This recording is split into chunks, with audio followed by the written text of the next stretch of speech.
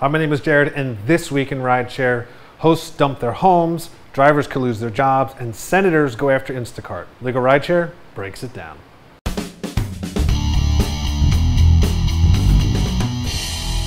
As the pandemic continues to sack the economy, Airbnb hosts are dumping their homes. CNN reported Christina Zima, an Airbnb host for over nine years, who managed over 25 homes, is looking to offload two of those homes due to the virus. On Tuesday, Uber's CEO defended his position on the Grubhub merger, plus added a very interesting take on the gig economy.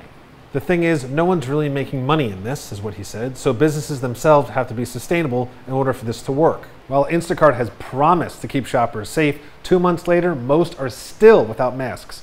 Some workers have received two kits, while countless others have received nothing. On April 23rd, they claim that they are sending out tens of thousands of shipments a day, but it could be that the shipments are only hitting certain parts of the country. On Thursday, Uber made it very clear for drivers looking to become full-time employees that basically said, you're going to lose your job.